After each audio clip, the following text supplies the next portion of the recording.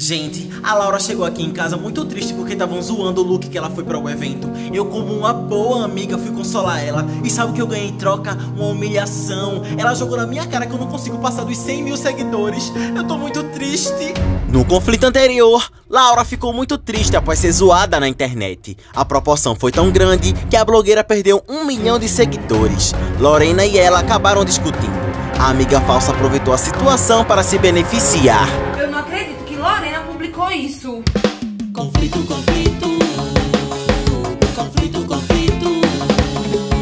Conflito, conflito. Pode começar. Conflito 142. A difamação da blogueira. Lorena, como você teve coragem de publicar um vídeo desse me detonando? Por favor, não dirija a palavra a mim. Você tá chorando? Sim, Laura, você me magoou demais. Amiga, não foi minha intenção. Você também tem que entender meu lado. Que lado? Desde quando tem que se entender uma amiga que humilha a outra? Eu não quis te humilhar, me desculpa. Tudo bem, eu não vou levar isso pro meu coração. Agora apaga esse vídeo, meus seguidores estão caindo ainda mais. E os meus estão aumentando. Meu plano deu certo. Eu vou apagar sim, em respeito à nossa amizade.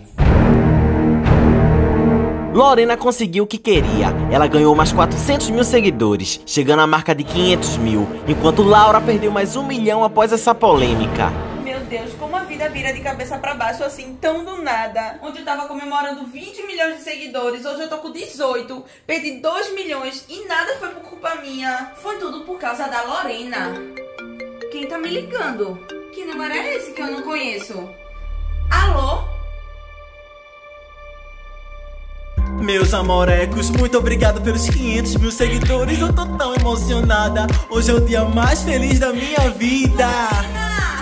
Oi, Laura. Eu já vi que você perdeu mais um milhão de seguidores. Sinto muito. Não é isso, eu acabei de receber uma ligação inesperada. Mulher, tu ama fazer um suspense, né? Fala logo. Por conta dessa polêmica toda, eu fui convidada pra ir pro BBB. Eu não acredito. Será que vai dar tudo certo com a ida de Laura para o BBB? Ou Lorena vai atrapalhar? Comenta aqui, deixa o like e se inscreve pra não perder os próximos episódios. Toda segunda e quinta-feira às 6 horas da noite. Continua!